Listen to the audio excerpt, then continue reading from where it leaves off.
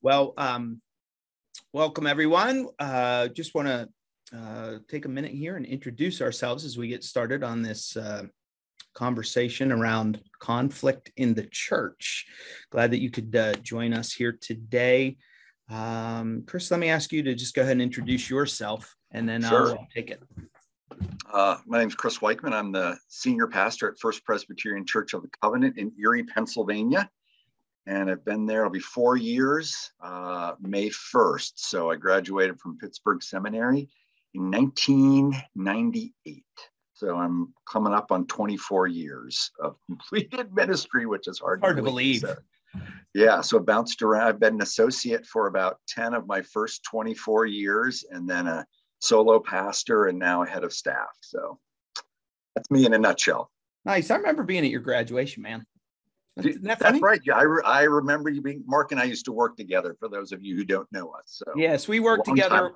Yes, we worked together a long time ago. Yeah, and um, Weichman and I have been in in settings. That's for a different phone call, but we have found our we have found ourselves in some strange spaces. Um, That's very true. My name is Mark Whitsel. I'm the lead pastor at Pleasant Hills Community Presbyterian Church, uh, just south of Pittsburgh. Uh, I've been here for almost 10 years oh and um, graduated from Pittsburgh Seminary in 2004 and then graduated again uh, in 2000 something late teens or something uh, where I finished up my DMin. Um, and yeah, it's been a, just a, a, good ride, uh, both in terms of school and in terms of the churches. Yeah. I have just been really blessed to serve some uh, wonderful churches. Yeah. Um, and maybe that's just a good place to start, yeah. in as much as I would say that I have served some really wonderful churches, but there have been none of them that have been conflict free. Uh, so it, Fancy that. Well, I know that may come as a surprise to so many of you. Um, but uh, yeah, in as much as uh, you may be on here today, just in a, a, state or a season of conflict in your own ministry, just take some encouragement in that. Um, I find myself right now actually uh, fairly conflict free in church life, mm. but that takes a phone call or or an email to yeah. just shift flip that thing upside down uh, and that happens with some frequency. And um, what we wanted to do here today was just take a little bit of time uh, to talk about that, maybe a few lessons that uh, that Chris and I have learned along the way, um, and um, yeah, some things that we've gleaned from uh, some years of ministry, and in as much as it can be of help to you, um, and uh, yeah, we just kind of offer up a, a little friend to friend conversation here. Um, Chris, maybe I'll start off with the, just kind of a softball question for you on this issue of conflict. Um, when you, through the years, where have you seen those um, kind of uh, pinch points in church life? Like, where are the, yeah. the places where you have seen uh, kind of increased friction uh, in terms of conflict in church life? Yeah, it was, um, to me, it's more a, a circumstance. So, yep. uh, particularly around expectations. Uh, um, when that comes to uh, expectations of what the pastoral role is, and that can include obviously pastoral care, that can include leadership. Um, so I think expectations, and then um, sort of a, a, this sense of uh, power or control. Mm. Um, and so, and that can, I mean, those circumstances are in every aspect of the life of the congregation pastoral care, worship, leadership, Christian education, um, dealing with change. And so those have been the areas. So those have been really the circumstances that I've really sort of, as I look back on, as we were preparing for this, sort of looking back at the various conflicts over 24 years of ministry, have really been revolved around certain sorts of circumstances, expectations, and a sense of power or control in some form or another, whether it's mine or an individual's. And um, so th- those have been the key areas for me um, as I think about it. So that's that's probably a good summation. Yeah, uh, I think about that.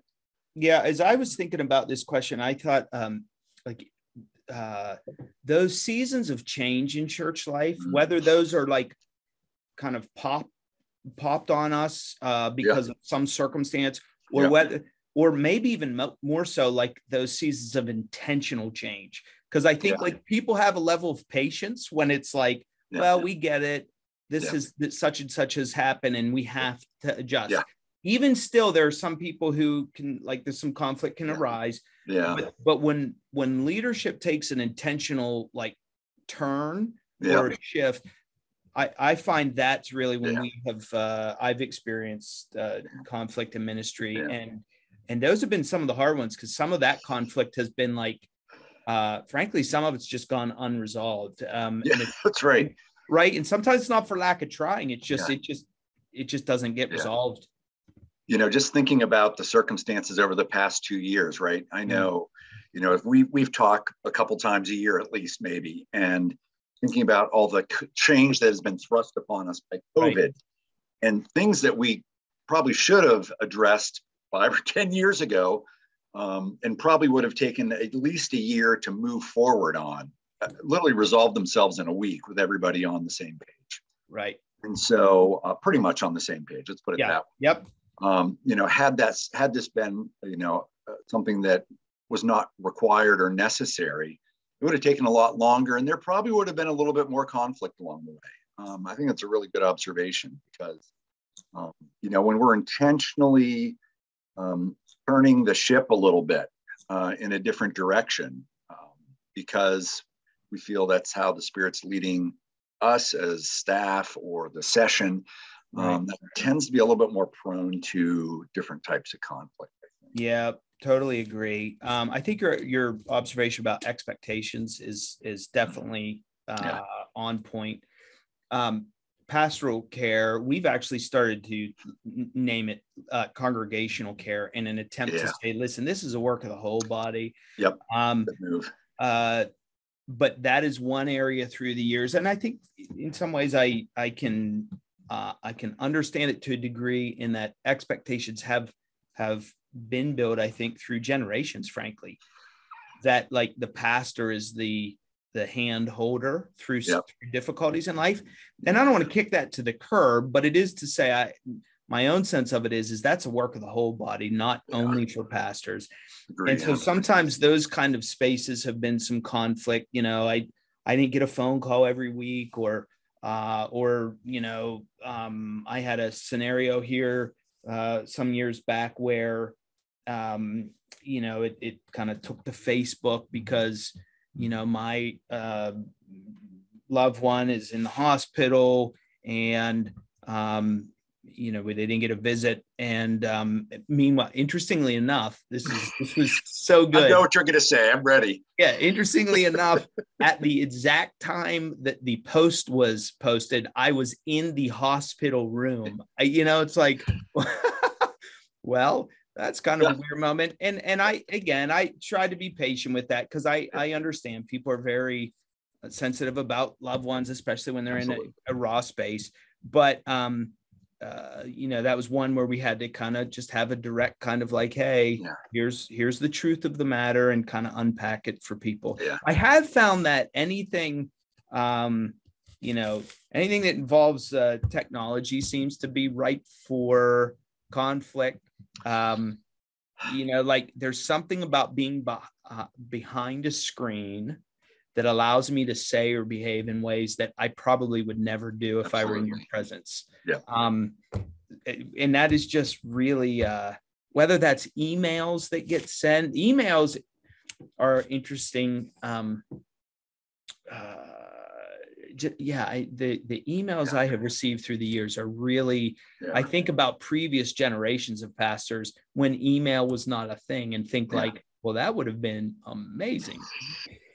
um, or but, uh, yeah. Yes, right. Social media is the other thing. I don't do a ton of social media personally, uh, and it's actually in part for this reason. Yeah.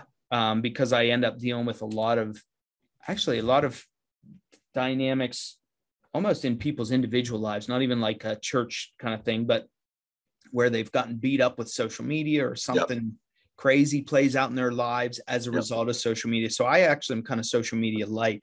I know not everyone is, and everybody makes their own decisions, but I find a lot of conflict kind of crops up there too. Yeah, there's, you know, texting and instant messaging and email, and that that's ripe for misinterpretation. And so, um, you know, I find, yeah, there's certain things I can email, and it's really no big deal. Um, but there's some things you just have to do face to face or over the phone. And yeah. Because you read this message, like I could read into this if I really wanted to, um, but I probably shouldn't. I need to talk to this person. And yeah. so, um, so I just avoid that if I have to. And um, you know, I have I do a little social media personally. Yeah. But um, eh, but I if they if they somehow contact me via social media, I say you need to call me on my cell phone or call me in the office. I that's good. Yeah, I think that's just maybe a good like first point. I, I don't know that we really have like a list of of points to, to offer up here, but that's yeah. a that's a really that is a good point, which is like just the redirect thing. Yeah. Man, I I cannot tell you I didn't get this uh, in seminary, uh, but this is just learned through experience, which is like you just as a pastor, I feel like you have to just own like the authority to redirect people. You absolutely. you absolutely you can't like because they're happy to redirect you and your yep. work and your yep. time investment and everything else yep. when they're hot about something. And yeah. so there are times, even in the heat of it, that the redirecting you just kind of stake out your boundaries yeah and um and go from there um yeah that's a, a really uh really good uh, good point. Um, uh, some of these other things, you know, um, reflecting on like kind of theological basis um, in terms of dealing with conflict. Yeah. Uh, uh, you know, it's kind of like sometimes I think like we kind of miss this about mm. conflict because we talk about i think we've kind of adopted a lot of psychological or, or like therapeutic language to it. Sure. Yep. And kind of forget some of the grounding of our faith, which is like, yeah, hey, shouldn't surprise it uh, that um, that there's conflict in the church. We love conflict, like by as you know, I mean, like truly, is like as a result of the fall. Yeah, of course, there's sure. conflict in the church. We, yeah. we, there's something within us uh, that, in as much as like, I don't know, I I almost think of my own kind of makeup is like there are like multiple layers. There's kind of like the heart la- layer, which is like, mm. yep, fallen. And so I can get into conflict as, as much as anyone. And yet, then the secondary level, which is like the surface level, is like, I tend to be like a conflict avoider. Like, sure. at least, like, that's kind of my first kind yep. of like reaction. And so I really had to work um, hard through the years to yep. step into dealing with conflict head on. Yep, I'm um, the same way. I mean, I, I don't think we're really you know, uh, you know, coming out seminary is not going to teach you to deal with conflict. Um, right. So, you know, it's part of it's a personal maturity. Yes. Um, and the first time you get that call or that email, it's like, well, you know, the wrong thing to do is to avoid it. You gotta, yep. you gotta meet it. And so yep. if you let, if you avoid it, it festers and then it's nothing but trouble. Nothing good comes of that. And so yep. you got to come face to face with it deal with it honestly. If it's your own mistake, right, you got to own it, and um, you own that, and you apologize. And and generally, you know, I found that I, I think think it's really important. I think one of the things I found when it came with conflict that arises because I did something dumb or neglected yeah. something is um, to own it, um, to apologize for it. And then I find that um, people are you know 99% of the time more than willing to accept my apology and I, and I think part of that is because you know over the years I, I, I had something crop up not earlier this week and um, we had a meeting and we uh, heard a report from the properties committee the session the trustees completely jumped over the deacons. Written on my agenda completely skipped over it. The meeting kept moving and it ended without the deacons saying something.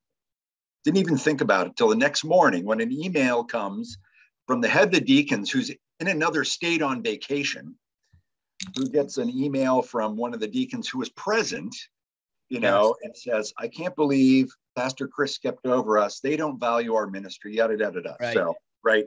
Yep. They don't think we're important. So I sent out the email apologizing to the deacons and meet with a person who wrote the original email to the head of the deacons. And, you know, she was upset and I totally get that. And I apologize for it. And, you know, and I said to her, I mean, you've known me for five years. You know, I did your husband's funeral. I visited you numerous times after your husband passed. Do you really think Right. I intentionally neglected the deacons? Because of course you didn't. I said, We're, we all make mistakes, and we came to that conclusion. So, Yep. so part of the reason I think that people are willing to forgive and give you latitude is because they know you care about them. Yep. Um, you know, you know you're not just someone who locks themselves in your office and you don't see anybody ever. You don't deal with people, and so Right. so we gain a lot of pastoral clout in our work with people on a day-to-day, month-to-month, year-to-year basis. And and a lot of times people are very gracious and give us latitude. I mean, we deal with, I deal with, we have a membership of 400 plus people, and um, it's a lot to track. So, you know, it's um, you got to own your own mistakes, right? And and as well as others have to own their mistakes, and you have to be willing Yeah. to to forgive and move on. So, Yeah, I think that they- running. I, I as I've watched pastors through the years, the conflict avoidance thing. I I think there's a thing about it. I, Yep. I've I've wondered this. Is it because there tends to be? I think at least like in our tradition or neck of the woods, or I I don't know. Yeah. Uh, how I would want to characterize it, but there seems to be this thing that a lot of kind of uh, what compassionate uh, people Mhm. uh, or people who understand themselves is gifted that way get into ministry Yeah. A- and with that comes some i think some conflict avoidance tendencies Agreed. sometimes and uh, as i said that's not uh, i got to measure that in my uh, my own life um, and like the the initial reaction is kind of to flee from conflict ironically enough i think it that in of itself is like a form of like adding to the conflict um, because the conflict's not going to evaporate That's you right. know? um, and to your point um, when you do hit it and own it name it offer up some apologies and forgiveness and the whole ball of wax that builds some credibility likewise if you run from it that also starts to to be like the the ball of snow rolling down a hill Yeah. of like gaining some steam over years and Yeah.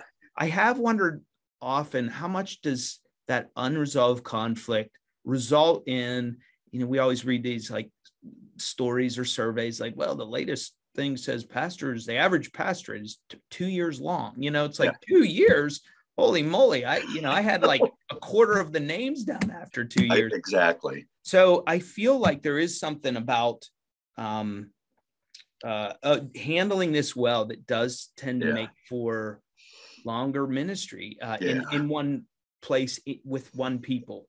Every every pastor friend that I've had over the years, or you know, pastors that I've known that have gotten into conflict, and something really just heats up in the church. And sometimes it's healed, other times it just it comes to a separation. I can't- I don't recall any any one of those circumstances where there wasn't conflict avoidance. Yeah. And so, um, so the fact is, man, no one likes to run into the fire, but sometimes you got to run into the fire. I mean, you got to run into the fire. Yeah, for yeah, for sure. Oddly enough, I um for a while here, I think I've been here. I know I've been here long enough, I think, to to build the credibility. Sure. But but after I had kind of gotten up over like what I'd kind of dubbed the like a honeymoon phase, we talked Sure. about church ministry, which I don't know how long is that now, a week and a half or something. um, but whatever that initial kind of place was, then once I started getting uh, deep enough that I was dealing with some conflict early on, I kind of had this reputation of like, man, this guy l- loves running into the fire. Yeah. Like, and so it was kind of this this weird thing. It was almost like he loves conflict, not because I was creating it, but he just loved. And I'm like, I hate conflict, Yeah. but I'm just so painfully aware, like, of how much it hurts and it it wars against us if we don't deal with it. Exactly. I've been at it. I've been at it long enough to know it. It's not going anywhere. That's right. So if we don't handle it, it's just going to be nipping at our heels for weeks, months, Yep. years to come. It will not get better on its No. own. Yeah, it won't. I, you know, funny story. Years ago, um, uh, had this whole. Uh, this is this is my elder tackling story. Okay, okay. I have I have the story of chapter three I, in your autobiography. Chapter yes. this would be chapter three. The day I tackled one of my elders. Um, I was um uh, on this uh, uh, project years ago uh, that was away from the church, we're, we're undertaking this project, and, and part of this particular day of work uh, involved uh, another organization.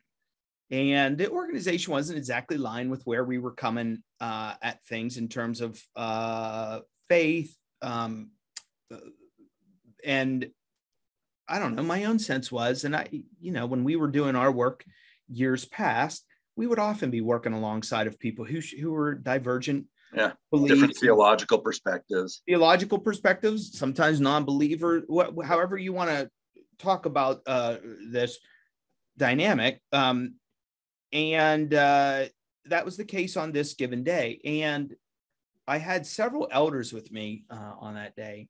And one of my elders was just not having this and yeah. started to get just like a little prickly about it. And they're in like we're getting some bank shot comments yeah. here or there. And pretty soon one of the individuals from this other group was like decided they weren't having it. So yeah. so so now i'm watching i'm watching one of I'm my visualizing elders, this in my brain i'm watching one of my elders and so pretty soon i'm like listen listen come on both of you uh, like i need you to come with me and i yeah. and i did i was like uh, I was actually kind of like it was the tone I use with my, you know, seven year old now. Right. It was like, no, we don't do this. Let's go. And yeah. so I pulled them out, and they knew it was, uh, frankly, kind of treating them like children, but they were acting like children at that point. Yeah.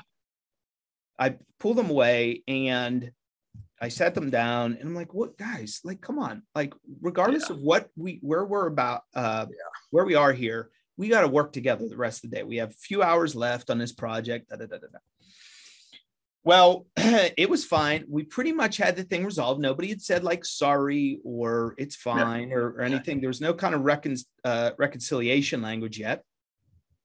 And my elder again was like made another like biting remark. Yeah. And and this guy who was probably I'd put him maybe 30 years younger. Yeah. Stood up and like was was like kind of over top of him. Yeah. And at this point, my elder stands up and they're now they're now chest to chest. Yeah. I'm like, guys, in the spirit down. of the Lord. That's right. God, you know, I'm like, guys, sit down. Nobody was at this point, they're not even hearing me. Yeah. Like I'm I'm not even, I'm not there at this point. Yeah. They're ready to go fisticuffs. And at that point, I thought, I like I have to end this somehow. Yeah. And my only alternative left was to dive into my elder and put them on the ground because it was either going to be me doing something like that yeah. or this guy was ready to start swinging. Yeah.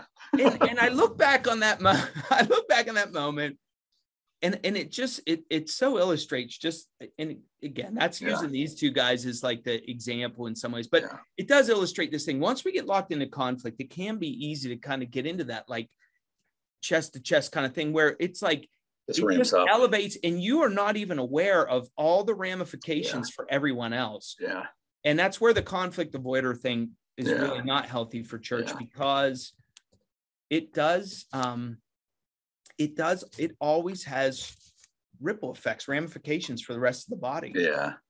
You know was, as you were talking i was thinking i've never had to tackle an elder so i'm very okay, grateful right. well if you need if you need some like coaching i'm okay thanks. Um you know i was thinking about uh, what I, I call it the spiritual power play.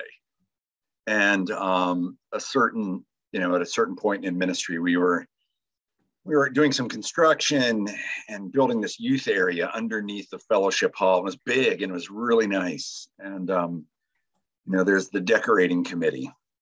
I'm always, I'm always fearful of decorating committees, but the decorating yes. committee. Yes. And um, we were looking for chairs down there for there's like this little cafe setup. They had booths and stuff, and we are going to buy these chairs. And um, Couldn't find any, couldn't find any. And then uh, lo and behold, one of the committee comes back and said, I found the chairs and I bought them. Oh, wow. You know, God, quote, God led me to these chairs. Okay. All right, let's check them out. Go downstairs, open up. They're the hid, most hideous things you'd ever seen in your life. Didn't fit. They're going to tear up the carpet. You, there's a million reasons not to like these chairs. There's really no reason not to love them. Yeah. Or there was no reason to love them. So, so she opens them up, and we're all sort of standing there dumbfounded, looking at these horrible things, right? And um, and I realized, you know, she had pulled this spiritual power play. God led me to these chairs. In other words, if you challenge me on these chairs, you're challenging God on these chairs, right? Yeah, that's right. You know, so God led me to these. Yep. And so we hemmed and hawed around, and no one wanted to say anything uh, inappropriate or hurt her feelings. And so I remember I was young. I had only been in ministry a couple years, and it was it was simply by divine intervention, I think, that I came up with what I came up with. And I pulled her aside and said, Well, I understand you think God led you to these chairs. Um, God hasn't told me or anyone else about these chairs. So let's sit down and talk about them. Um, and so, you know, this idea that, you know, I mean, it's, really a power play. Don't challenge me on this because yep. God told me this. Well, I mean, just as a good reform type, and certainly as a Presbyterian, you know, our discernment process is always never just an individual person, but as a group. Yeah. And so um, it was really that that was a really interesting conflict where it was yep. like, well, God might have, you know, you might think God have led you to him, but I don't think God spoke to me or the other 10 people who were sitting down here looking at them and not wanting to say anything bad. Um, yeah.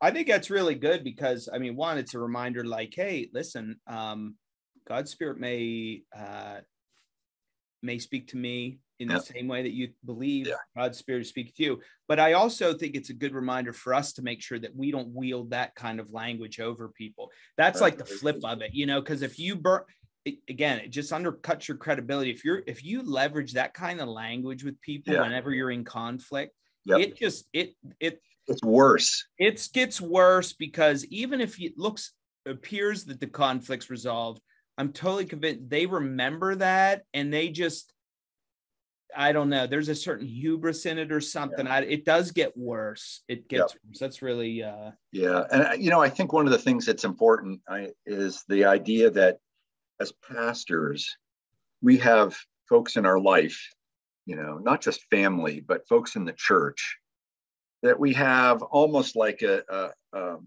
a different sort of relationship with in the fact that they can come up to me and say, you know, you're being dumb here. Yes. you, know, yep. you are not seeing the bigger picture. Yeah. And I'm telling you because I love you, not because I want to be a jerk. And so you need to put the brakes on for a second and listen to what people are saying. Yeah. Um, and so that's really important. You have to have the humility to to be able to do that, to listen to that. Yeah, I've tried to uh I you know, in church life here, I've always tried to talk about that as truth tellers. Um and I have tried I well, I haven't tried. I actually I have done this very directly. I have uh, a couple colleagues who I've I have had the conversation with them, something to the effect of like, listen, at any point, I am I trust you. Yeah, you, you love me, uh, and I know you love me enough to like see me my best and worst, love me in both.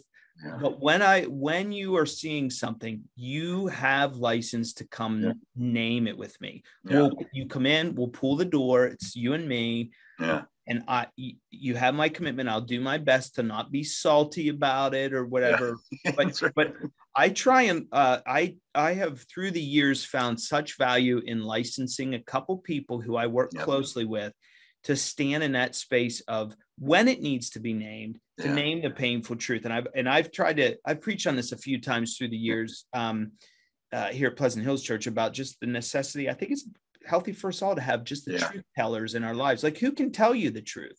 Yeah. You whether you're leading or whatever yeah. role you are in uh, in life. Yeah. It's just you need people who can yeah. speak the truth to you. Mark, do you do you outline with your staff or with your session or other boards like um, guidelines for dealing with conflict?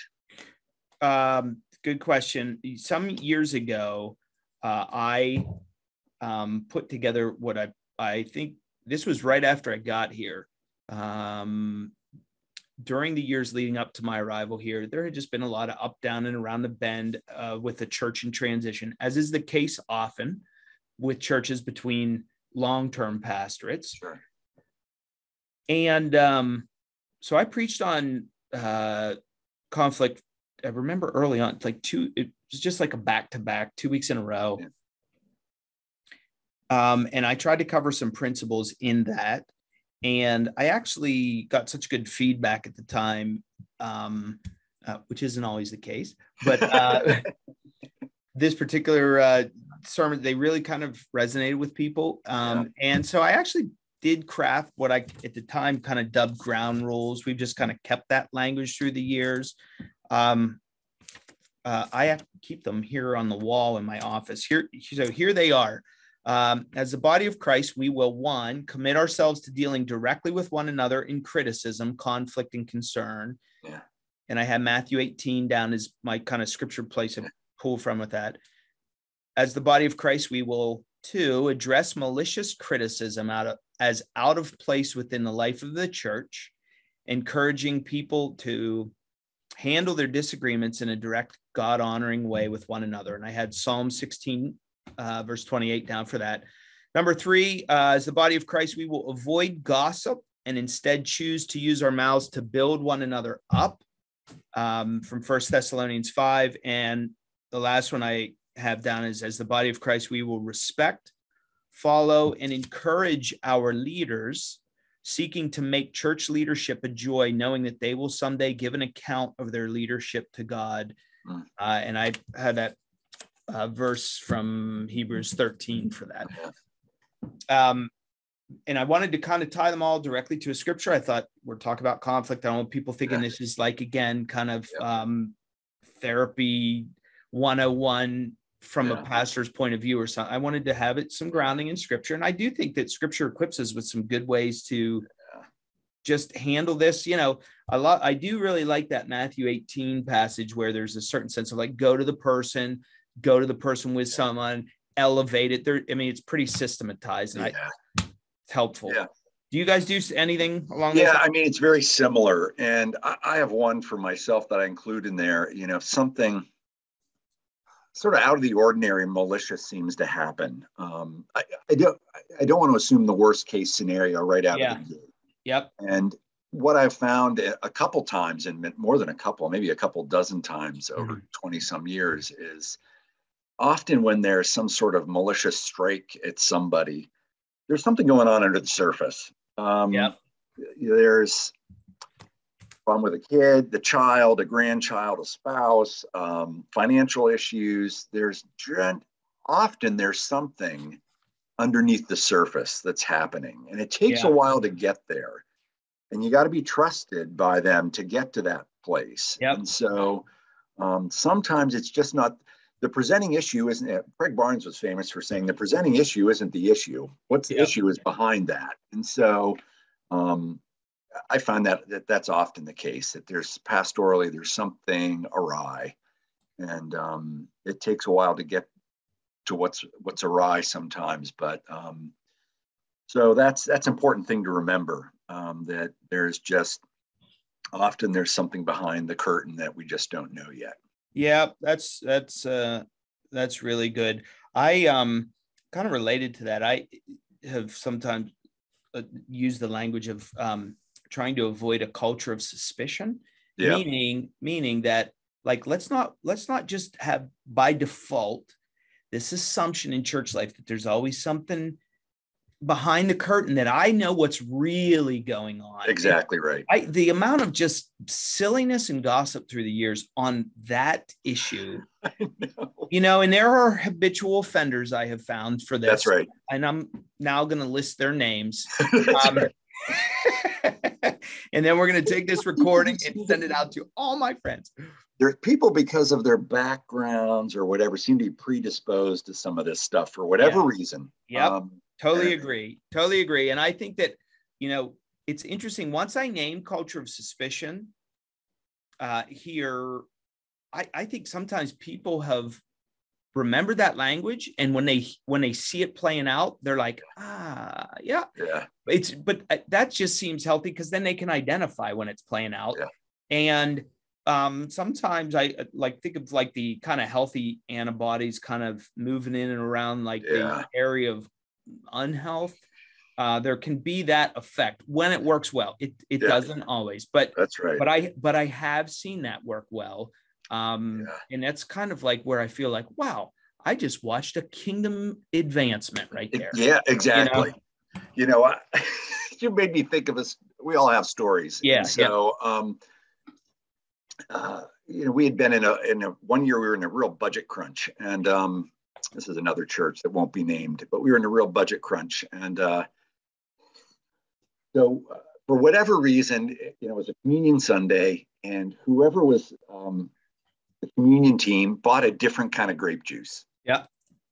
And um, it tasted, it looked different. It tasted a little different. Yeah, and, we're uh, veering from the Welches. Yeah, that's right. So um, at the end of the service, someone's like, "Oh, that tasted different." Well, you know, they're watering down the grape juice to save money.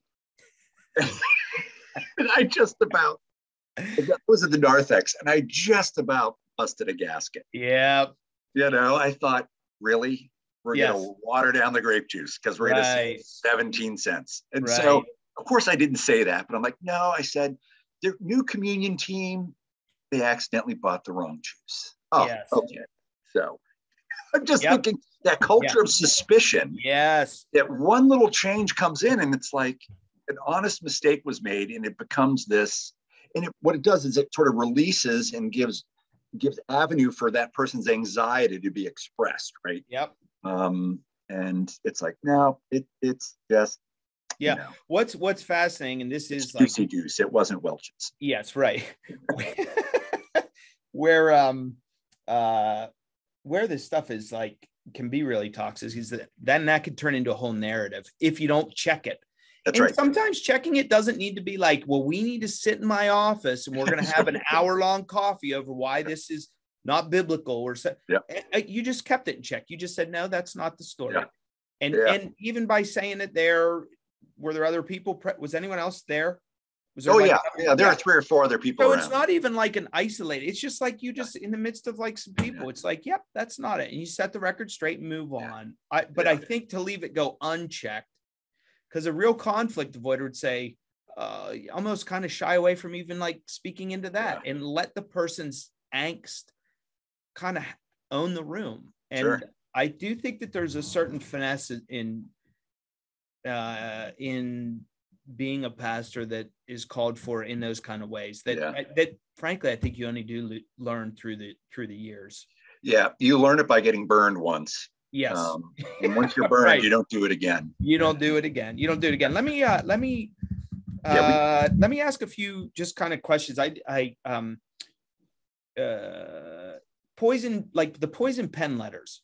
Uh Yeah. that's one thing that comes up sometimes in church life. Boom, boom, boom. That is a nice thing about email. I usually know who it's coming from. Yeah. Although I have had people set up the anonymous the the the the Really? joke. Yeah, I've had people set up a joke email account so then they can send me something um uh you know kind of anonymously via email it you know be in front of me um which is funny. Like if you're going to do that Yeah. f- future suggestion don't use your grandmother's name. That's easy to find out. I'm just saying you know who you are out there. you know who you are i'm sure you're watching this video um but poison pen let do you read them do you chuck them in the garden i've heard it kind of all over the place do you when you get an anonymous letter Yeah. do you read it you chuck it in the garbage how do you generally do something So I that? save them. Um, I read them. Yep. Because someone's concerned enough to write. Um, they weren't brave enough to use their own name, but Yep. um, they were concerned enough to write. And Yep. often what I do is I will take that, I'll read it, I'll be angry about it yep for a day or so. And then I'll go to a trusted person and say, read this and tell me what you think. yep Because it's anonymous. Nobody, I don't know who it is. They don't know who it is. yep And um, generally they'll say, yeah, maybe they have some sort of strange point. I don't know. yeah Um, but oftentimes it's just someone who's mad about something that rubbed them the wrong way. So I, yes. I keep a I have two shoe boxes I keep yep. in my cupboard at the church, and one is those letters that you get where people are thankful and grateful, and yep. you did this, and my mother's service was wonderful, and you save those because when you get those letters, the anonymous letters, you got to go into the good letters and read them and remind yourself that you're actually a pretty decent pastor. Yes. Um, and so that's good. I, I say I just keep them. Um, I really don't put a whole lot of value into them unless I get other feedback from my trusted folks that I share it with. Your truth tellers. Yep. Yep. Yeah. No, I think that's great. I do about the same thing. I mean, I've worked with people who are like, no, I just throw them right in the garbage. As soon as I know, I in the garbage. And I think like, yeah, I I I guess I want to I don't want to get any of them. I like, yeah. you know, I mean, if I could turn that spigot off entirely, I would. Yeah. But um, but they come from time to time. Yeah. Uh, usually read them. Yep. I can feel my just adrenaline going, even as I'm reading it. I mean, it's, sure. like, it's got like a, a physiological kind of thing that happens. Oh, yeah, absolutely. I'm sitting there reading it, I'm like, Ugh.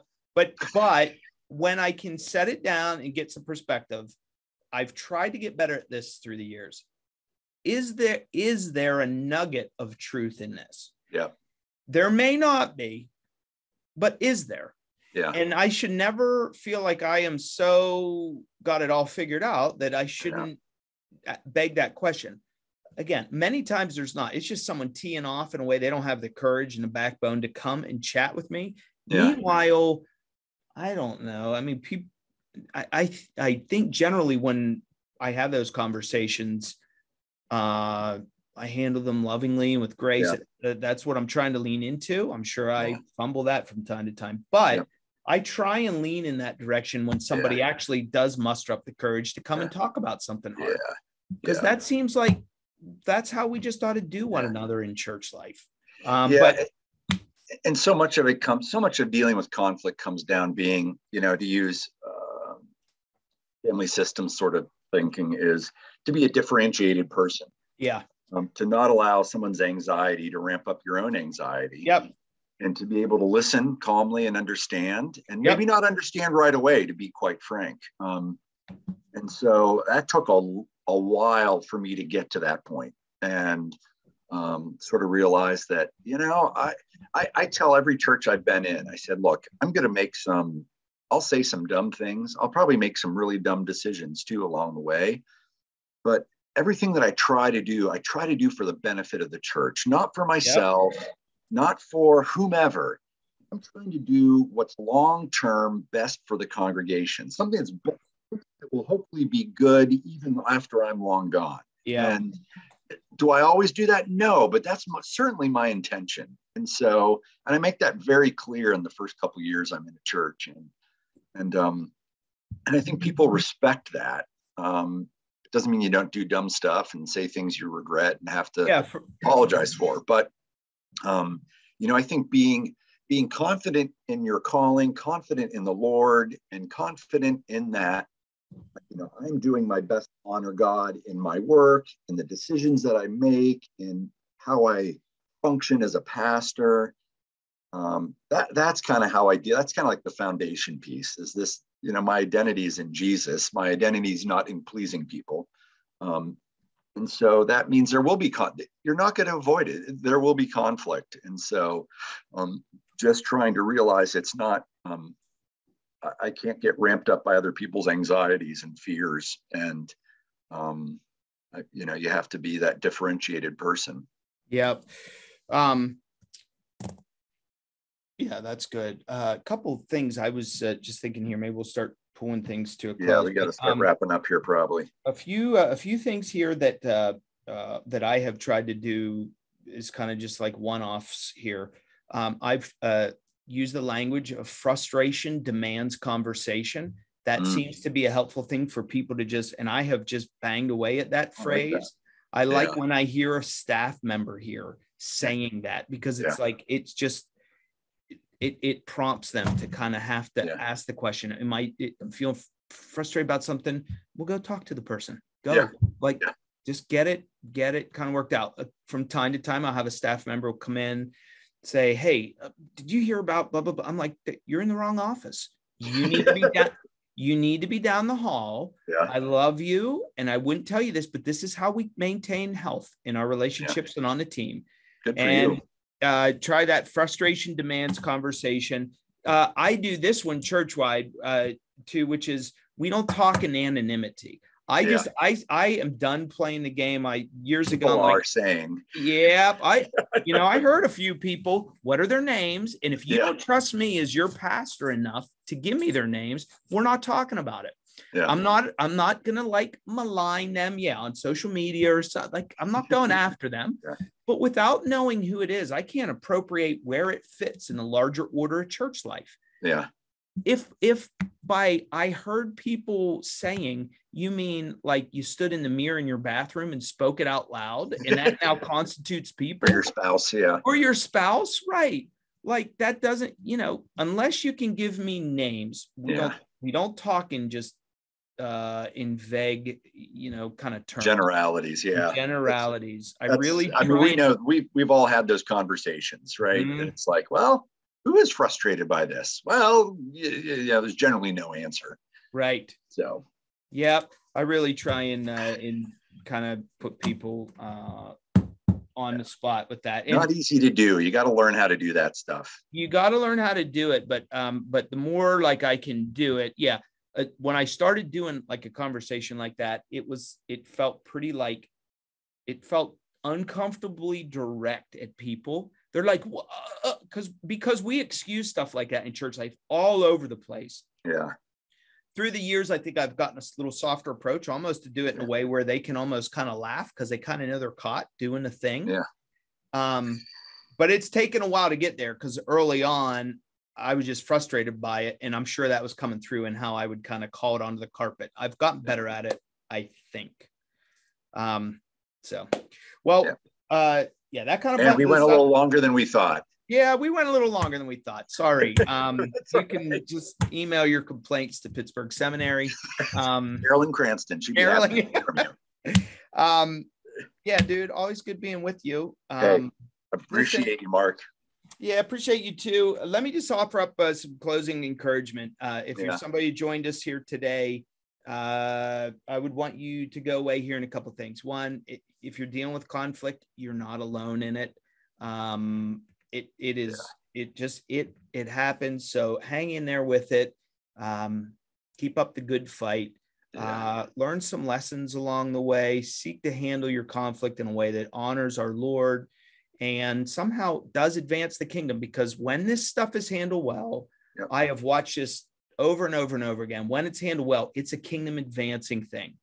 When it's not, it tends to feel kind of like the reverse of that. So just handle it well. Um, it matters um, because it's one way that we somehow embody the gospel mm-hmm. in how we just handle conflict. I mean, in some manner, seems to me there's something inherent in the gospel itself that is about conflict being yeah. handled well. Yeah. So keep at it, friends, wherever you yep. may be today. Amen. Weichman, thankful for you. Can you uh, you close us out with prayer? Sure. Let's pray. Good and gracious God, we thank you for um, our Lord and Savior Jesus Christ. Thank you for our colleagues in ministry, for trusted friends along the way whom we can open up and share and ask hard questions and who are willing to tell us the truth, um, even when we don't want to hear the truth, maybe. Um, I thank you for Mark, Lord, whom I've known for 30 years now at least, and um, for his ministry at, at, Pleasant Hills and for the ministry here at First Covenant. Mm. Lord, uh, none of us likes conflict, um, but we know that when we handle it well, when we model how to handle it, um, our churches and we learn how to better deal with it again the next time it arises. And it's a kingdom advancing uh, moment. And so, Lord, grateful for our time together. I hope that our words and our stories were helpful to somebody along the way. And uh, we give you, Lord, all the all the praise and the glory. In Jesus' name we pray. Amen.